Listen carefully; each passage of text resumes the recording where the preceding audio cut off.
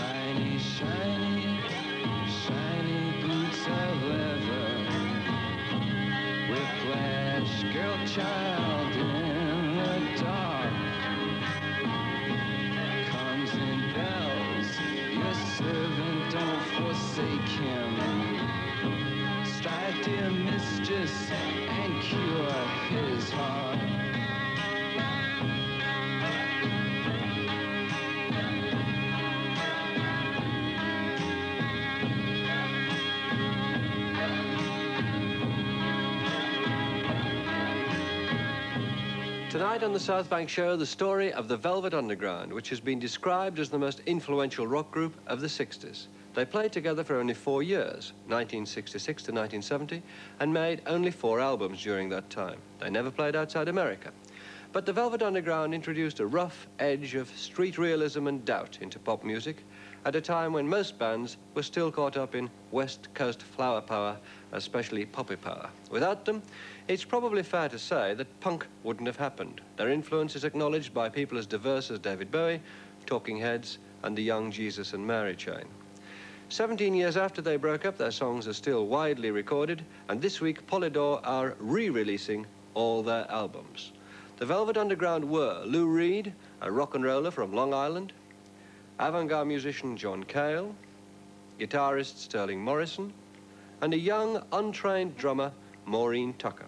For a time, they were joined by the beautiful singer, Nico. Together, they created the first alliance between pop music and the avant-garde. Perhaps it could only have happened in the 60s, when the emergence of pop art and underground cinema caused an explosion in the established art world. Maybe a big pop rather than a big bang, but impact it had. To reflect the mood of the time, we've illustrated the story of the Velvets with rare underground film from that period. The Velvet Underground were promoted by pop artist Andy Warhol in the mid-60s. Warhol was at the height of his celebrity then. To his New York studio, the factory, came art dealers, limousine liberals, and downtown bohemians. Warhol's films of these people became as famous as his paintings, and he began to look for a new three-dimensional art form. The Svengali of fashion struck again. Pop art met art pop. We're sponsoring a new band. It's called the Velvet Underground, and um, and we're trying to. Well, since I don't really believe in painting anymore, I thought it would be a nice way of combining, uh, and we have this chance to combine music and and art and uh, uh, films all together, and uh, we're sort of working on that, and and uh, well, the whole thing is being auditioned tomorrow at nine o'clock. And if it works out, it might be very glamorous.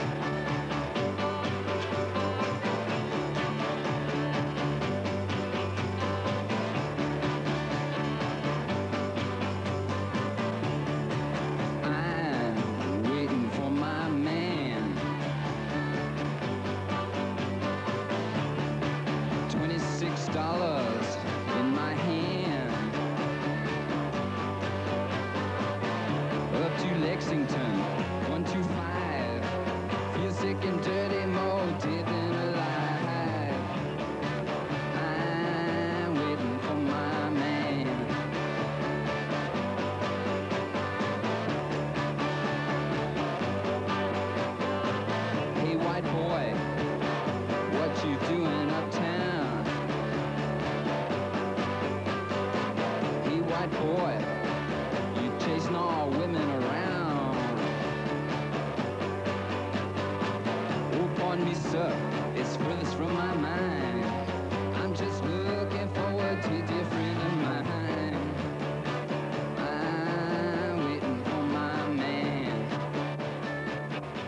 It began to become clear that uh, the Warhol Enterprises were going to be something on the order of, of a Hollywood studio. And the Hollywood studios need not only a lot of stars around uh, jockeying for position, but a big, a big uh, lot on, on, which to, uh, to perform. And uh, it was perfectly natural if the art was being made there and the films were being made there for the music to come the same way. Everything that he touched, he had such facility of making it uh, a big success somehow. He turned everything into gold. Who did that picture? So much gold. Oh, you know, um, that pop artist. What's his name? He makes avant-garde films, too. Oh, you mean him? I saw some of those films. Nothing happens in them. Well, people are just supposed to be themselves or something like that. Oh, there's one of his actors. Oh, he was in the thing I saw. The only good thing is, I think he should go to Hollywood. Are you kidding? He looks too far out. I mean, in a really big way, the crossover happened with the Velvet Underground and Andy uh, and the art world.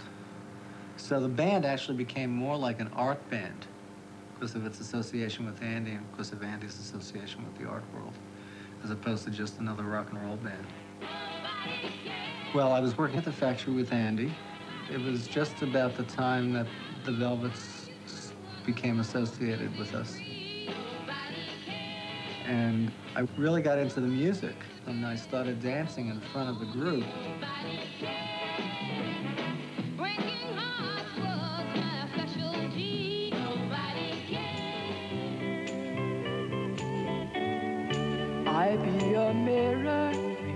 What you are, in case you don't know.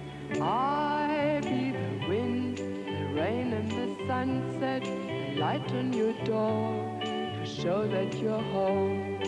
When you think the night has in your mind, that inside you're twisted and unkind. Let me stand to show that you are blind. Please put down your hands,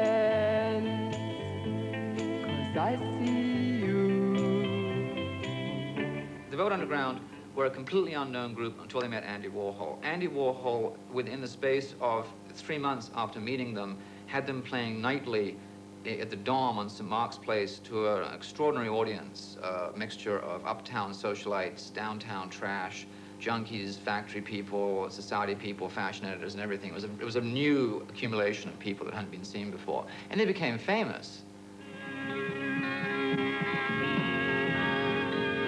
It's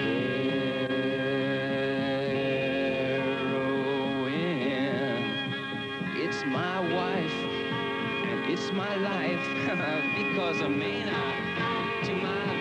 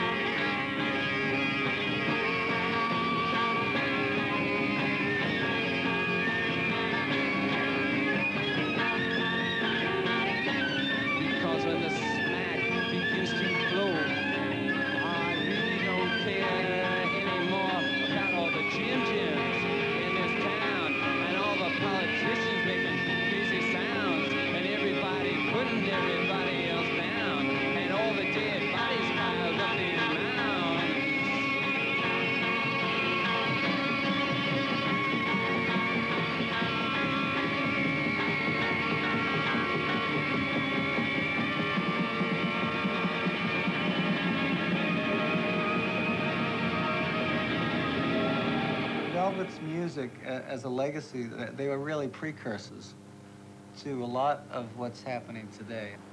They were really the pathfinders. They were the ones that were going to get take the ridicule even. Uh, where, where what's happening now is a lot of that music is, is more or less accepted. It was an attempt to be revolutionary, an attempt to, to combine both the avant-garde and the the commercial, and try and make a run at it.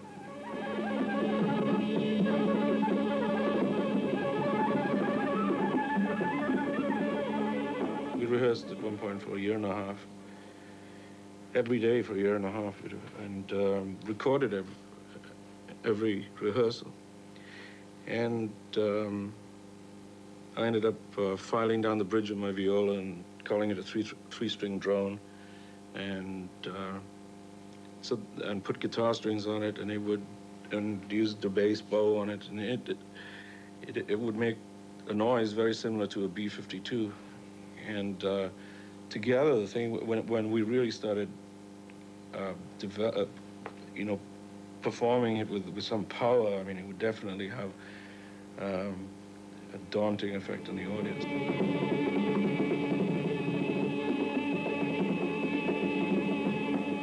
I was interested in, in developing rock and roll in, in, a, in, a, in a sense that you would incorporate this, both the funky side of rock and roll and the Wagnerian side of rock and roll and put it together. But Lou was living upstairs and heard us playing uh, all these blues records and whatnot. Um, at the wee hours of the morning, he had the campus radio show that was on once a week on Saturdays. So he came down to borrow records. And I could hear all this humming and buzzing upstairs. That was Lou warming up.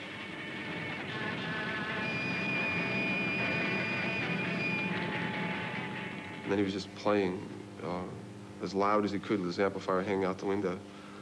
Uh, I said, oh, he plays guitar too. You have to talk to this guy. And, you know, so I did.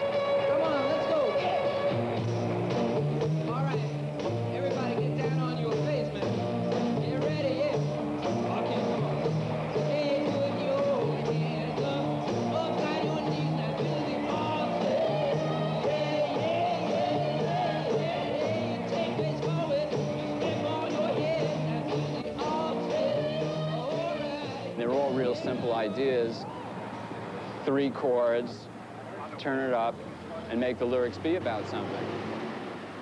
Had to be about, about something that had to do with everyday reality as we knew it then, as opposed to just um, nothing or making believe it was about something. I mean, I think when the a real characteristic of the Velvet Underground, as I as I think is about my own my own songs, is that they're really about something. We bring you the South Bank Show. This week's program tells the story of the Velvet Underground, the legendary group.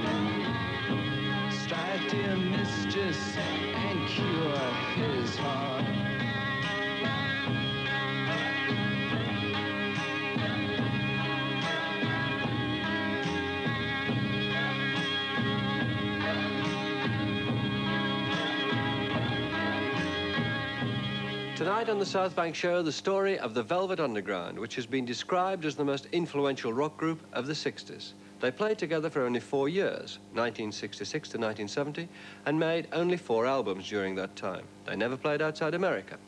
But the Velvet Underground introduced a rough edge of street realism and doubt into pop music at a time when most bands were still caught up in West Coast flower power, especially poppy power. Without them, it's probably fair to say that punk wouldn't have happened. Their influence is acknowledged by people as diverse as David Bowie, Talking Heads, and the Young Jesus and Mary chain.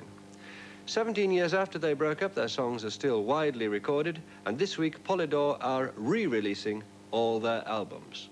The Velvet Underground were Lou Reed, a rock and roller from Long Island, avant-garde musician John Cale, guitarist Sterling Morrison, and a young, untrained drummer, Maureen Tucker. For a time, they were joined by the beautiful singer, Nico. Together they created the first alliance between pop music and the avant-garde. Perhaps it could only have happened in the 60s when the emergence of pop art and underground cinema caused an explosion in the established art world. Maybe a big pop rather than a big bang, but impact it had. To reflect the mood of the time, we've illustrated the story of the Velvets with rare underground film from that period. The Velvet Underground were promoted by pop artist Andy Warhol in the mid-60s. Warhol was at the height of his celebrity then. To his New York studio, the factory, came art dealers, limousine liberals, and downtown bohemians. Warhol's films of these people became as famous as his paintings, and he began to look for a new three-dimensional art form. The Svengali... We started at, and just keep it under there so when everybody came back, there was something to go back to. In 1965, the, the pop music scene, wherever it was going, was going to go without us. That was our conclusion. Um, John had no pop involvement whatsoever, and Lou and I had, had given up. It was impossible. Uh, the bands all had matching suits and little choreographed routines, and uh, it was Joey Dee, you know, that kind of thing. Jay and the Americans, I guess they were around.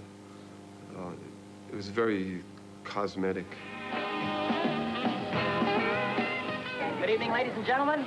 We'd like to welcome you here to the Dance Pavilion up at Lake Arrowhead. To really kick off this swinging summer, from Reprise Records, we bring to you Mr. Personality himself, Donnie Brooks.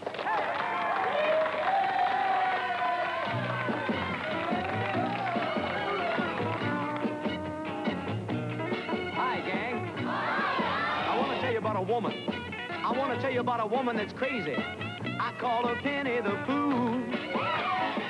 She knows exactly what to do.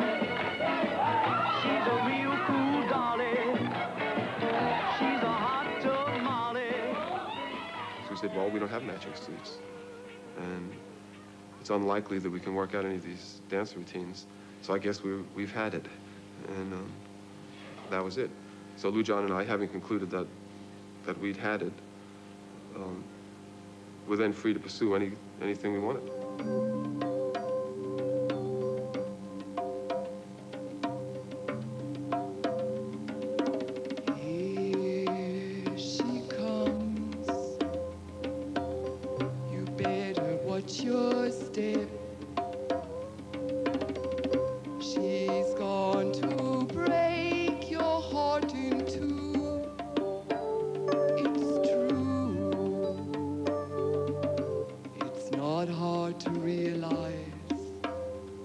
Just look into her false-colored eyes. She'll build you up to just put you down. What a clown, cause everybody knows the things she does to please. She's just a little tease.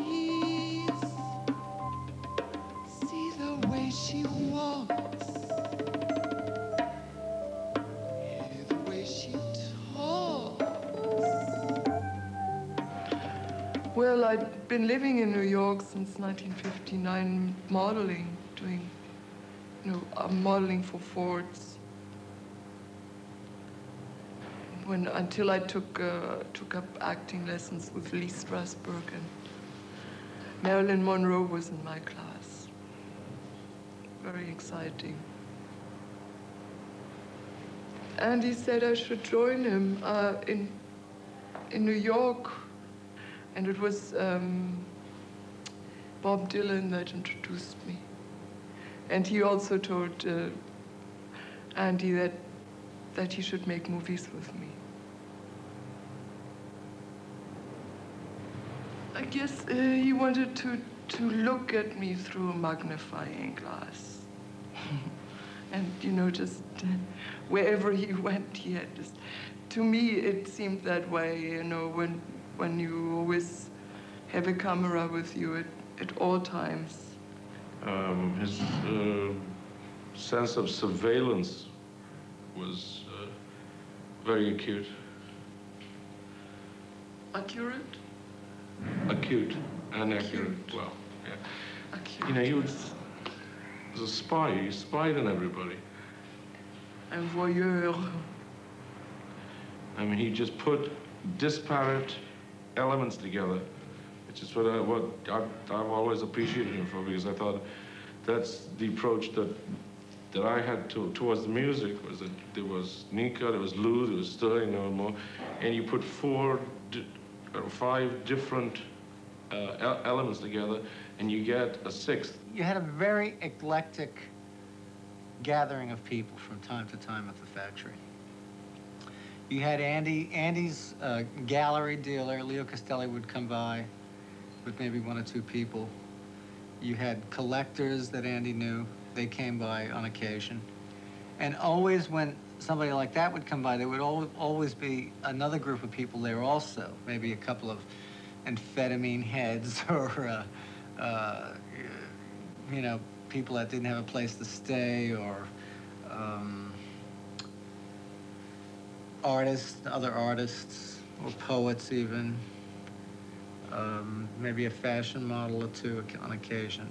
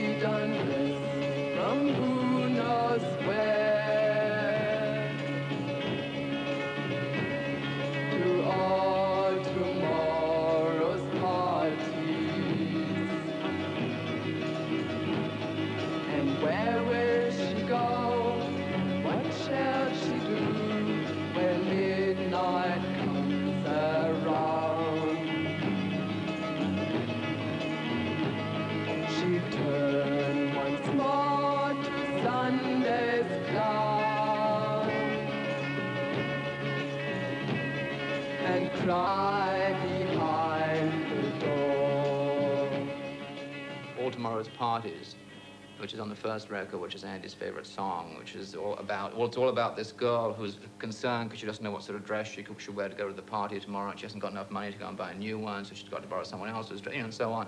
These are all like little specifically short stories about individual peoples, which, which uh, group together create kind of a group portrait of a sensibility and of a lifestyle. In the same way that, that the film Chelsea Girls does exactly the same thing. I mean, Chelsea Girls basically is 12 different vignettes.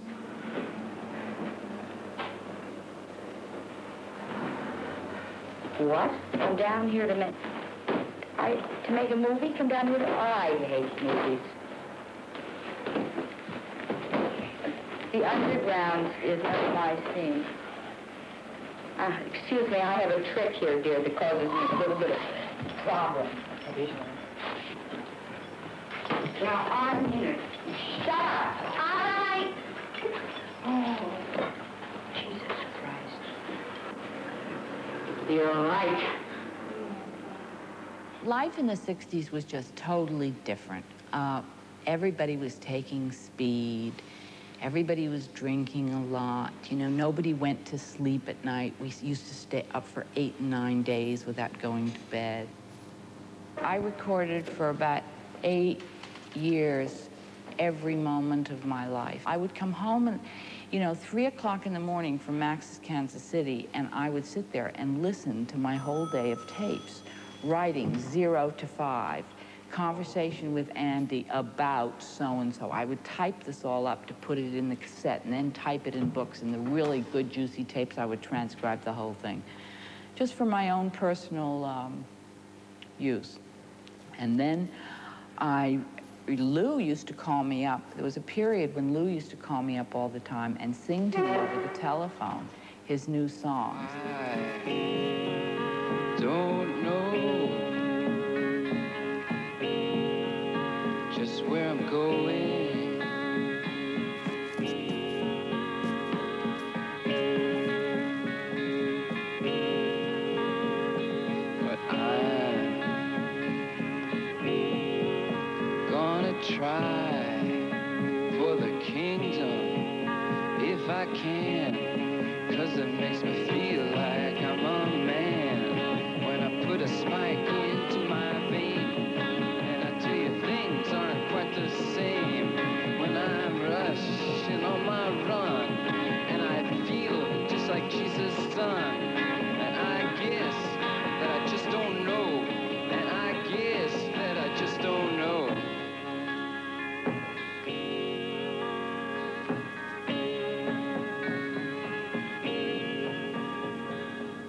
think it was like very unusual to have someone with a viola or a violin in the group and a girl drummer and uh, and also the songs were very um,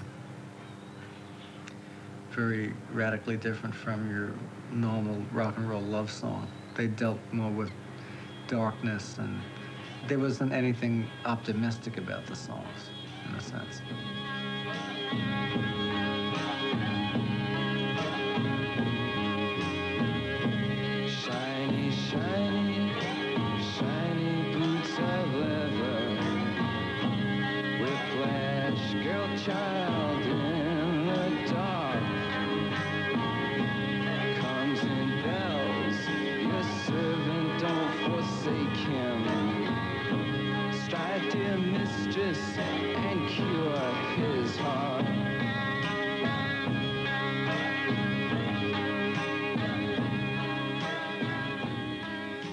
Think the effect of Venus in Furs is that uh, musically it's so shocking.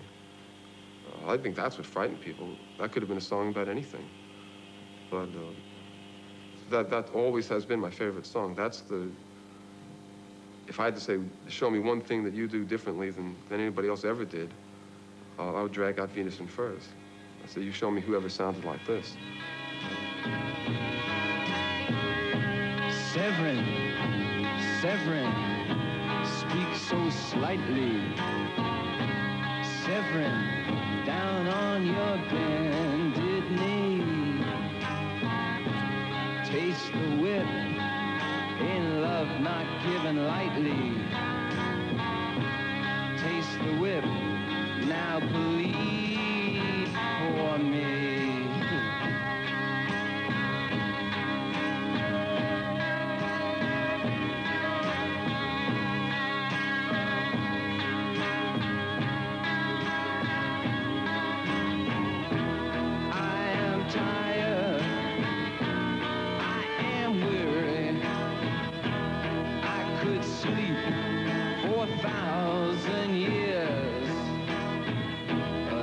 Thousand dreams that would awake me.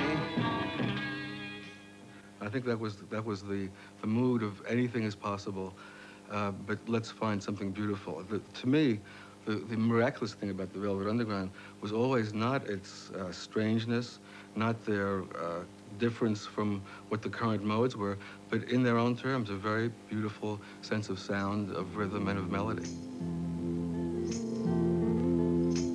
Sometimes I feel so happy. Sometimes I feel so sad. Sometimes I feel so happy. But mostly you just make me mad. Baby, you just make me mad.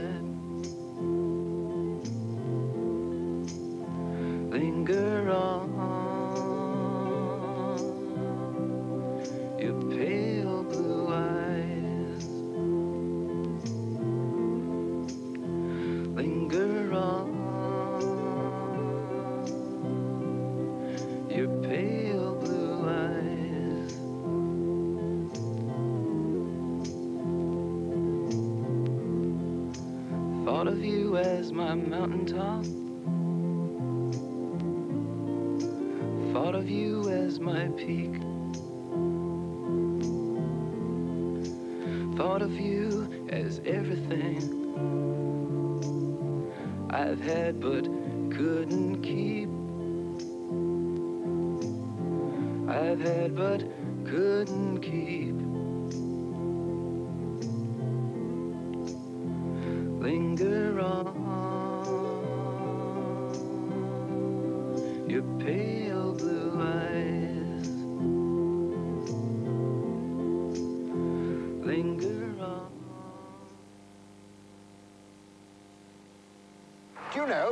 British company that each month produces 600,000 miles of thread, enough to stretch to the moon and back. That's nothing. Here in the States, we got a corporation that produces enough paint each year to paint a strip a mile wide from your Land's End to John O'Groats. A mere trifle, because the company I have in mind also produces 250 million batteries a year, more than the entire population of America. Oh, yeah? Well, this corporation's also made enough chairs to seat every office worker in Britain, France, and Germany. Quite so. Uh, but this company also has 13 department stores. You could fit your Houston Astrodome pitch into this one six times over. Listen, Bud, this corporation's also made enough Frankfurters to circle the world three times. That's as may be, old chap, but this company also produces enough bricks each year to stretch round the world eight times. So what's this big shot company called, huh? Hanson. You putting me on? So's ours. Oh, really? Hanson Trust, a company from over here that's also doing rather well over there. Monday's a fun day, Tuesday's a blue day, Wednesday's a frenzy, Thursday's the worst day, Friday's great, cause I can hardly wait until the weekend.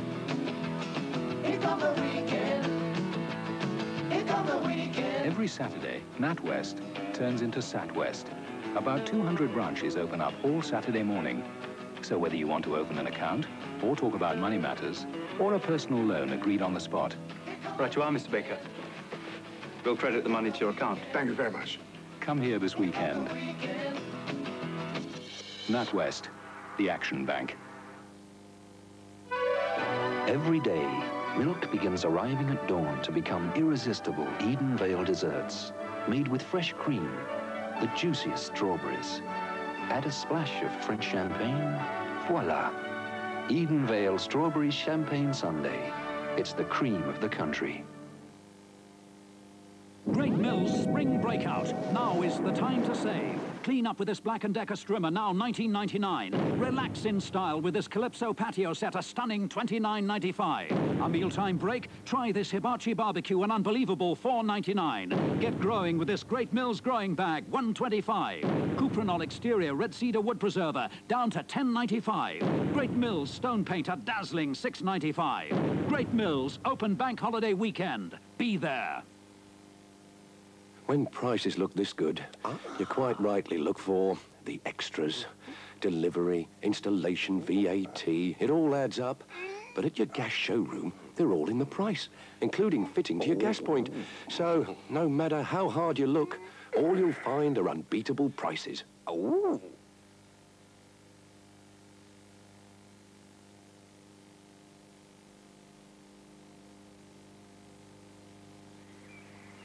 Have you ever been to Levin? No. Ah. I think it's gonna be like Easter and Christmas and New Year's and your birthday all together, you know.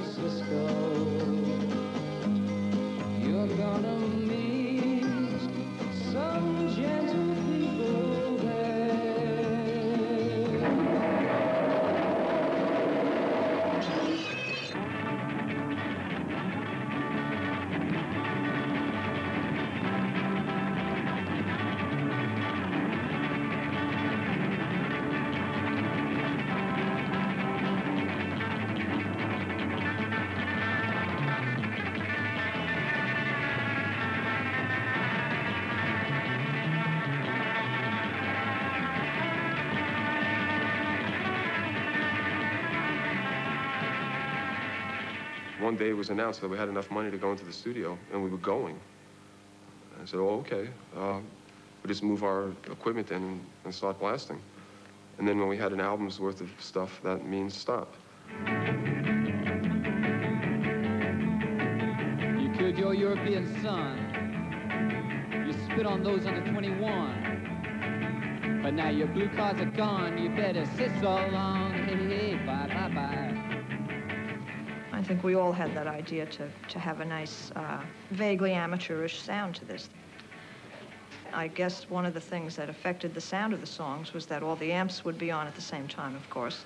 And in those days, they weren't so great with, with baffling and hiding things. So there'd be feedback or uh, hissing and stuff that you really don't hear. But if that stuff was taken out, it would make a tremendous difference. You really had to let it sink in. Uh, especially if you weren't especially taken with the sensationalistic negativism of songs like Heroin, uh, which I wasn't. It sold, what did it do? It go to 99 in the Billboard charts? As it turned out, it was prophetic, but there was no way to know that at the time. The most significant thing about that music was Maureen Tucker's beat. And Lou Reed's uh, vocal manner, quite remarkably deadpan, and underneath it all, witty, lively, full of its own kind of energy, too. Uh, he really understood at some level what that beat was all about and, and, and meshed with it perfectly. By the time the record came out, the initial energy which had gone into making it had kind of dispersed. The enormous Warhol uh, uh, production um, shows, the, the, the light show, the famous light shows at the Dom and at the Trip in LA, no longer existed. They just, it was all over. So this record was almost like a historical artifact by the time it came out. And Nico was no longer with the group. It was all. Then um, they got it together uh, with a new manager, and with whom they had a pretty good relationship. And here you finally had the original Velvet Underground: Lou Reed, John Cale, Sterling Morrison, and Maureen Tucker. And they went into a recording studio in New York and recorded "White Light, White Heat" in the summer of 1967.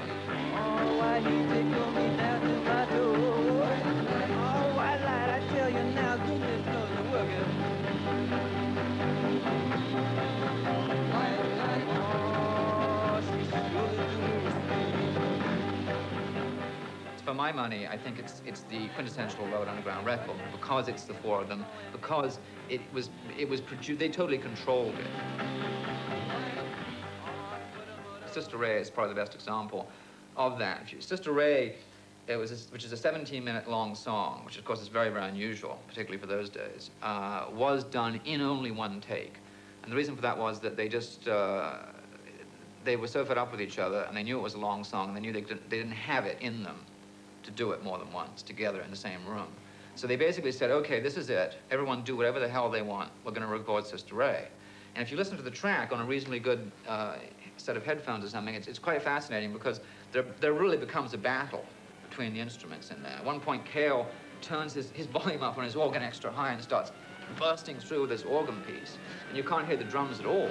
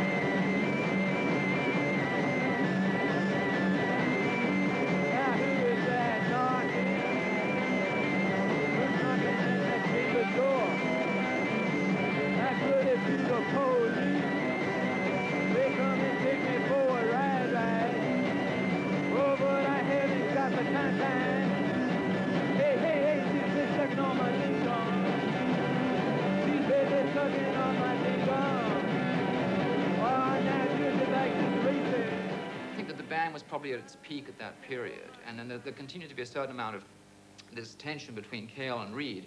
But as Sterling points out in my book, and as Maureen also said, it created, you know, the music.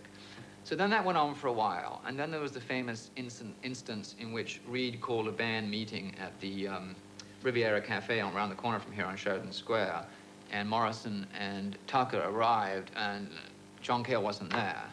And Lou Reed said, John's out of the band, and there was an enormous fight, and everyone started throwing things, and, you know. But, but basically, the, the, to, to jump to the third album, the third album was then made uh, without uh, John Cale. And now this is where you get into kind of all sorts of uh, theories as to whether the Velvet Underground then became Lou Reed's backing band or not.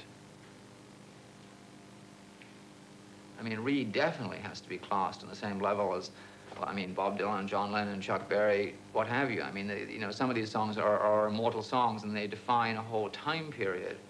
Um, so I think that as, as a lyricist, as, as, a, as a poet, he's called the uh, uh, Poet Laureate of New York City. Well, the new, Lou Reed New York attitude is real. It was just the New York attitude. It was, I mean, you know, you could find lots of people with it. yeah, I, can, I mean, I can't really take credit for a new, copying on a New York attitude, but it was, it was like, there was no moral stance. I think that was another thing I try to be really careful with. There's no moral stance to these songs. It was just this happened and that happened, and it presented kind of dry, unemotional. In an era when the whole notion of rock poetry was a very important one, and when, as usual, Dylan was the, uh, was the real exemplar, no one ever thought about Lou Reed as a rock poet. And in retrospect, it seems to me that he had one of the most authentic and original voices of anyone writing lyrics in the 60s, perhaps the most authentic and original voice. And the reason nobody noticed is that there was nothing even remotely poetic in the appearance of his lyrics. They were very demotic, very conversational, very, to use a word I go back to again and again, deadpan. Um, now, in fact, he was capable of real flights of lyricism. Oddly, he told me he was leaving the group, and he was really, really upset, and we sat there for a while. I didn't put any questions to him or argue with him. I just, yeah, had obviously made his decision. Um, he didn't give me any specific reasons why he had was had decided to leave. And that was that was the last night he played with them, as I recall, and maybe he played two more nights or something. But we've all really gone our separate ways. And uh, I have no communication with any of them except Maureen, Mo, the drummer. I'm not interested in them or high school reunions. I'm not interested in reunions at all. I, I, like, I like today, what's going on today. I think it's nice what happened yesterday. I'm very proud of it all. But uh, I wouldn't want to go back.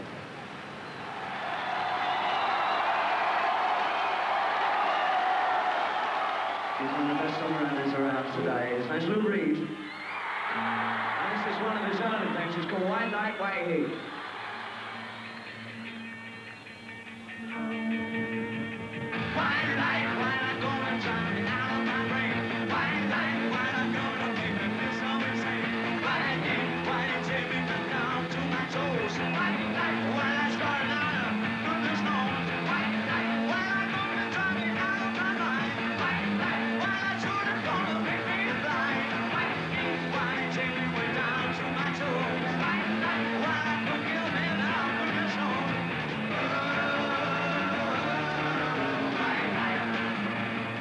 Underground is as much the source of everything that's put under the vague rubric New Wave as the Beatles were of everything that was put under the vague rubric rock in the late 60s and early 70s. It's not, that's to say that bands which don't like the Velvet Underground, don't use any of their usages, still owe them a debt because they come out of the, of the, of the negative energy, the critical energy that that band instilled in, a, in the first generation of punk. I don't have any heroes. They're all useless. I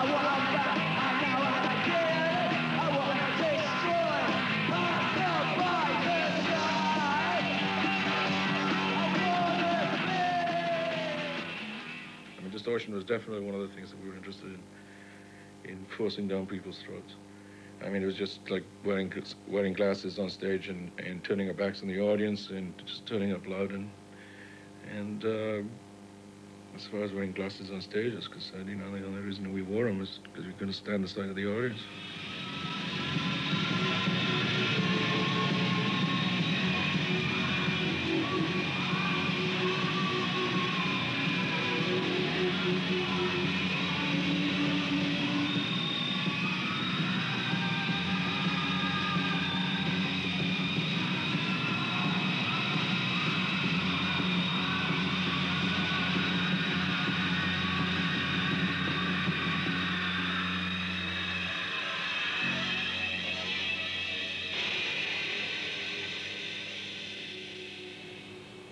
Find it's almost an extension, like the 1980s are an extension of the 1960s. I, I have to admit that. It's uh, as if the 70s didn't exist, as if it went straight from the 60s to the 80s, somehow. Well, I don't look back at those times at all. I, uh, I'm very much in the present. I, I, you know, when I pick up a magazine or a book and I see my name in it, I always think of that person as not me, but somebody else with that name. So it's like a character in a novel because I'm, I'm, I'm really into what I'm doing now in the present anyway. Oh. oh. Warhol Studio. Jed? Hi, how are you? Good. Um, Fred's not, he's not in yet. Wait a minute, do you want to talk to Sam? This is a big office now. It's not really a factory. It's not crazy anymore. We don't have zombies coming around like we did in the 60s. Now we have Japanese businessmen. We have, uh, you know, collectors all day long. We have very chic luncheons upstairs, you know. And uh, it's all different, you know. It would be something that your mother would be very proud of. I had put out a little single, and that's when I found out what was going on as far as young fans and stuff. And then when I was selling my little single over the phone, I just, in my kitchen, calling up record shops around the country, um, I had my little speech all set. I was going to say, my name is Maureen Tucker, and I used to be in the Velvet Underground, figuring they wouldn't know who the, this was. And not one of them did I get to Velvet Underground. As soon as I said Maureen Tucker, they knew who I was, and that really surprised me. I mean, all these people talk about, you know, how they, how they see the influence in this and that and that. You know, it's like the kiss of death. I mean, I would imagine. I mean, there's a cult following here for the Velvet Underground, and anybody would want to say, you know, to the record company if they wanted to get signed that they were influenced by the Velvet Underground would be, you know, would be stupid. I mean, it was the last thing you would want a record company to feel was they were dealing with another Velvet Underground. Images develop uh, in and of themselves. So once people decide that the Velvet Underground is in fact a depraved uh, group of junkies, uh, whatever their, their musical talents, then uh, people are always waiting for you to uh, do something strange. But in fact, we had good table manners and uh, paid our hotel bills, uh, didn't break furniture, uh, as people with uh, middle-class upbringings might be expected to do. Um, oh, if we'd done some insane things, it probably would have helped. We dress conservatively at the best of times. Prefer the shadows to the bright in the eyes of the ones we love. The bright lights in the eyes of the ones you love. What we see what we imagine. The eyes tell us nothing. Bright lights in the eyes of the ones you love will tell you nothing. Like the scars of imagination. The scars of imagination. The bright lights in the eyes of the ones you love will tell you nothing except you're the thoughtless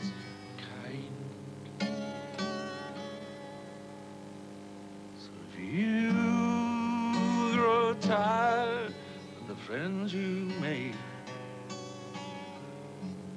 never, never turn your back on them. Say they were the best of times you ever had. The best of times the thoughtless kind. The best of times with the thoughtless kind.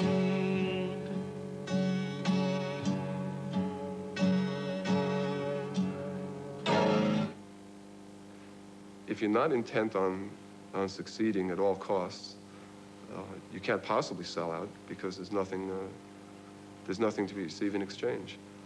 So why not do anything you want to, uh, any way you want to? So we had a freedom that uh, most bands deny themselves because they're trying to make it. They're trying to do something. And we were trying to do something too, but we didn't care if it never got out the uh, four walls that we were in.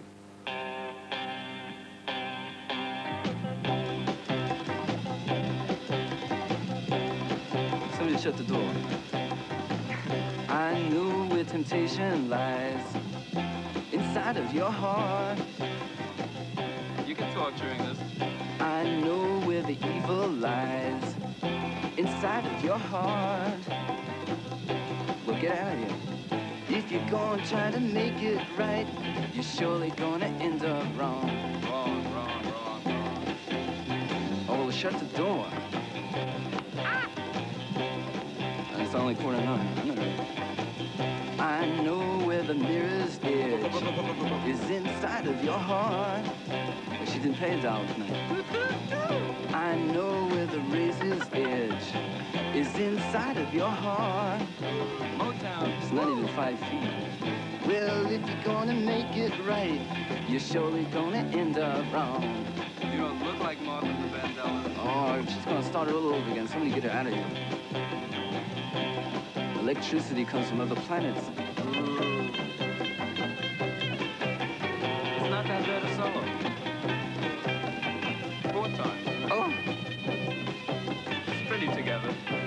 can't stay here. You didn't Yes, I hand. I can talk to myself this way. Lock the door this time. I know where temptation lies inside of your heart. It's true. I know where the evil lies inside of your heart. Is you ready? But if you're gonna try to make it right, you're surely gonna end up wrong. All the whole mess start again.